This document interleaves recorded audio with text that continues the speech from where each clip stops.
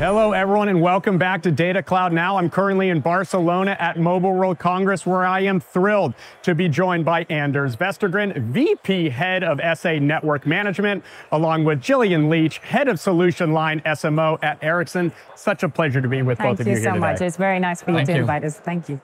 To start with, how are you seeing the progress of 5G across the industry, and where is the current focus? Anders, let's start with you. So I think 5G is well underway. I think we have rolled it out in 158 operators across 67 countries. But only 30 of those are true 5G, what we call 5G standalone, when you can enable the full performance of it. So I think that's one big theme today. The other theme is of the open and programmable networks, which I think is a key thing where we are contributing.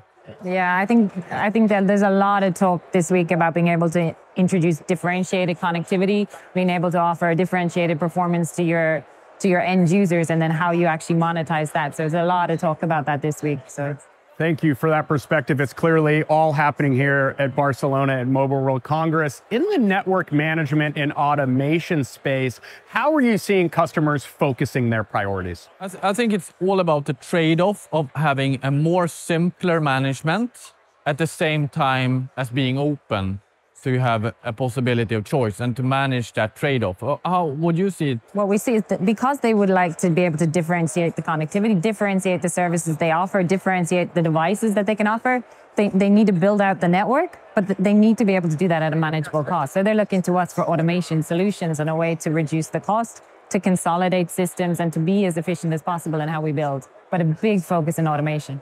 Very much the best of both worlds. Yeah, exactly.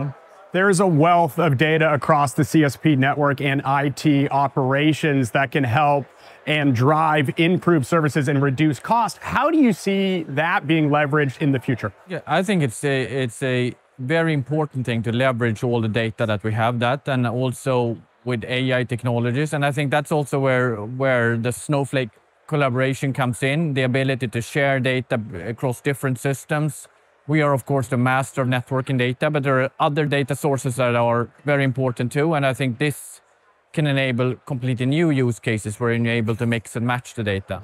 Yeah, exactly. And, and customers, they, they don't want that data to be replicated. So they're looking for us to be able to integrate our solutions with products they have, like Snowflake. And, and I think that's, we're super excited to have you as part of the ecosystems that we can bring that kind of joint kind of perspective of you can have your data here or here, but we still can put it all together and, and automate on top. Great to hear how the data cloud ecosystem is driving value for Ericsson's ecosystem as well. A hot topic remains all around AI and ML.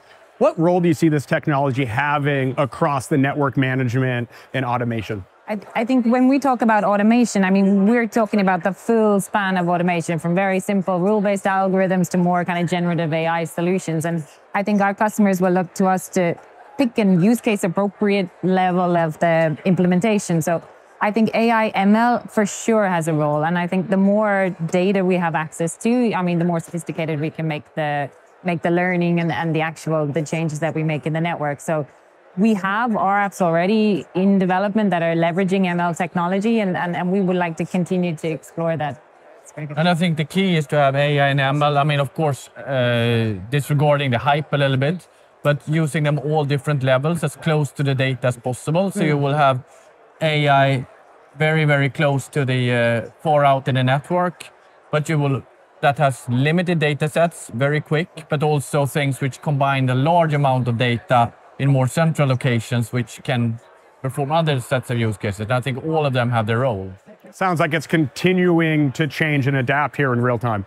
Yeah, and, and and also choosing to implement the automation as, as, as close to the problem as you can, and making sure that you're very efficient in both the data that you collect, how you store it, where you put it, and not replicating it, so that really leveraging the things, the assets you already have. Thank you so much for those insights and perspectives. The excitement is clearly all around us here at Mobile World Congress. What are both of you hearing, and what's top of mind as you look out on the remainder of 2024? I think what I'm thinking most about and what I'm hearing from customers is that we've talked a lot, you know, the last couple of years about openness, building an ecosystem and moving forward with automation. I think this year we're going to do it. We're really going to move into implementation, into deployments and, and really see things going from idea into action. I'm looking forward to seeing Yeah, what's yeah. next. And from your standpoint, No, Anders, I, I agree on this. This is when it's going to happen when we re- really have open systems and are able to gain some real value of that open innovation. an exciting next chapter for Ericsson. Anders, Gillian, such a pleasure having you on Data Cloud Now. Thank you. It's been fantastic. Thank you. Thank you. And for the audience watching, I'm Ryan Green with Data Cloud Now in Barcelona at Mobile World Congress. I'll see you soon.